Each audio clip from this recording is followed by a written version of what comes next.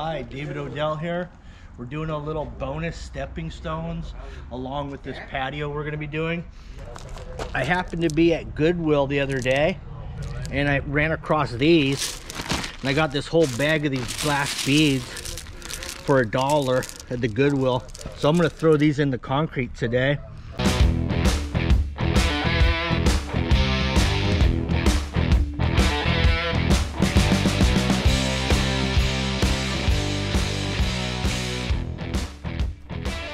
So if you notice we're pumping this in, that's because we're doing a lot more concrete on this particular project.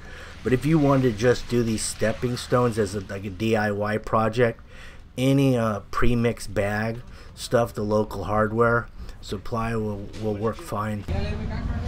All right, we got the concrete in here. Now we just got to flatten it out a little bit. We're just gonna do that with a hand float, fiberglass hand float. And it's okay if we're a little bit low too, really, because we're gonna be throwing all these glass beads in there. If we're a little low, it's gonna come back up a little when we put the glass beads in. All right. Now the fun part, we'll just spread them. It's a little wet, really. You can wait a little longer on this. You can see how they're sinking way down just by dropping them.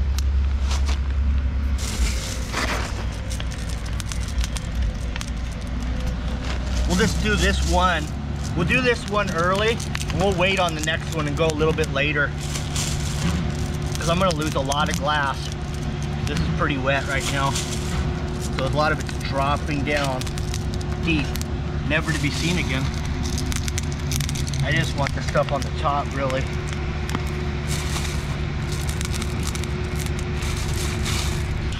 This is gonna, this process that we're doing is gonna take at least four hours minimal in 70 degree weather, no sun, about, you know, four hours, four to six.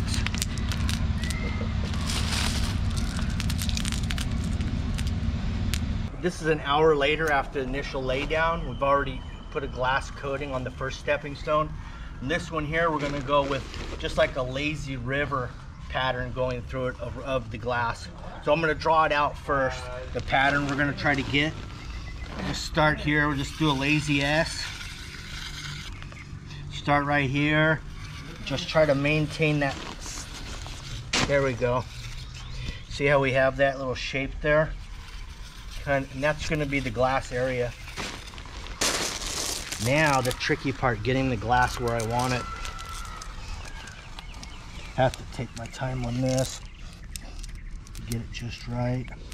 Whoops. See that? Almost messed up.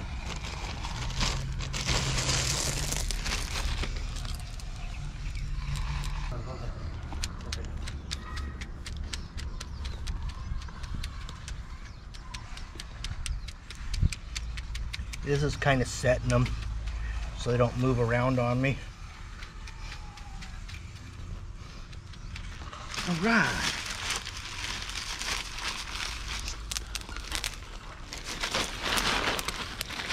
All the glass is gone. Tap it in. We'll try to get this all the way flush. So we don't want these to fall out later. We're gonna actually bury them. And then what we'll do later, we'll expose them by rinsing with water and we'll do that probably in about three hours. So right now all the cream's going over these glass beads. The glass has disappeared. The interesting part is to see when it comes back when we do the rinse.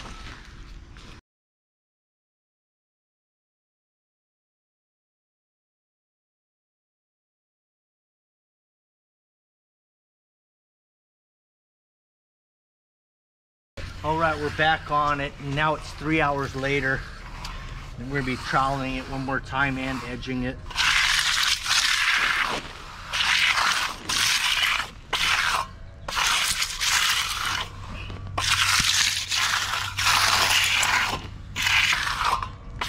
So you, can, you notice that uh, the glass beads aren't popping. The cream's not really popping off of them. as much as they were earlier because it's a little drier now.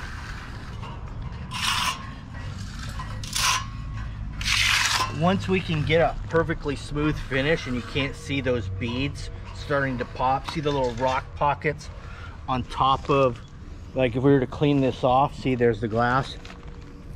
So what's happening because it's still a little wet to get your final trowel is the rocks, the cream's just kind of rolling off the top when you pass a trowel over it. So basically it's just too wet.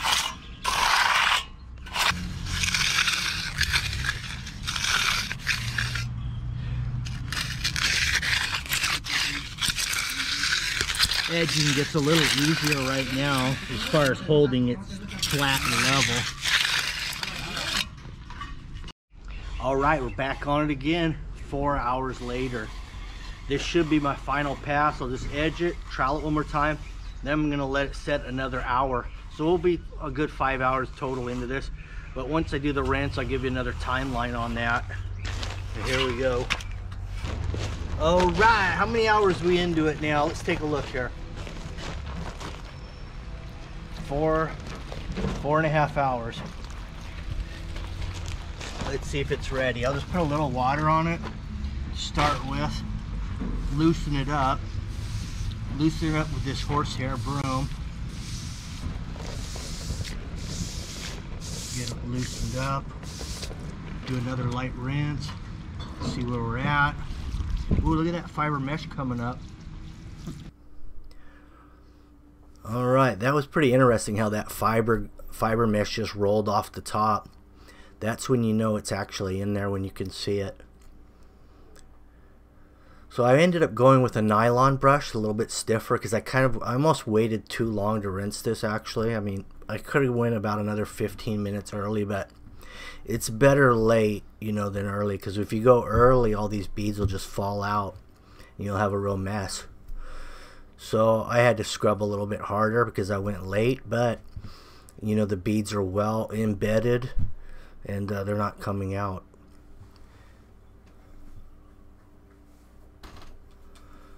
Once we do all this rinse, we'll let it dry overnight. We'll come back the next day, strip the forms, separate them, give it a good cleaning, and we'll seal them. The nice thing about these stepping stones, if you're considering doing something like this on your own at home, you don't really need a concrete truck and a pump hose and all that. You can do it with some typical bag mix, you know, Quikrete, any bag mix, concrete premix will work just fine. All right, second day. We just uh, stripped the forms on this. Now I'm just gonna brush it, get any residue off of it. It might still be on these glass beads.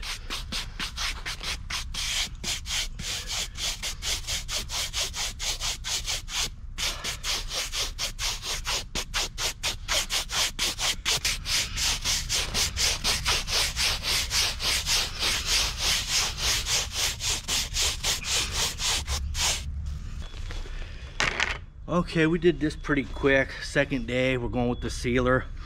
Um, we didn't do the muriatic acid wash. We didn't neutralize it.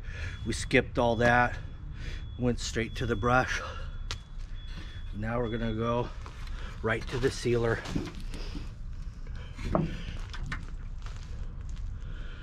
Available at Home Depot.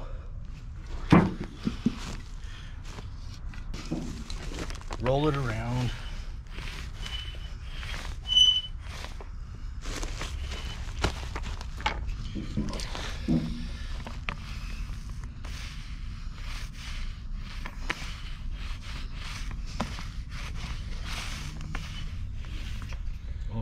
is really looking good, huh?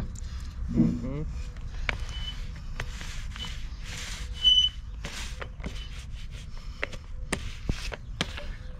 Typically, you can't really seal this stuff the next day, especially a large area.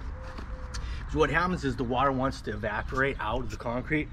If you have water trapped in the concrete, it gets stuck between the sealer and the surface of the concrete and it turns milky white.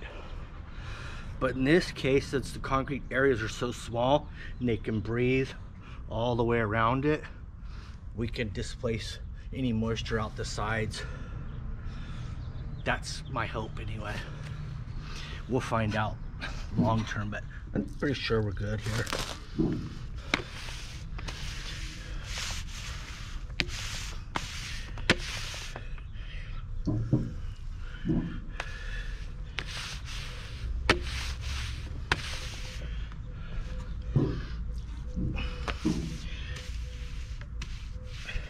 The sealer does a couple things really. It's not just to make it nice and bright and shiny and beautiful, but it's also to preserve the entire surface. So I imagine if you did high usage on a surface like this with these beautiful glass marbles, they could get dull by wear and scuffing them. But if you keep a nice sealer on it, it should last forever. That's our goal. Make it last forever every time. Thanks for watching and have fun.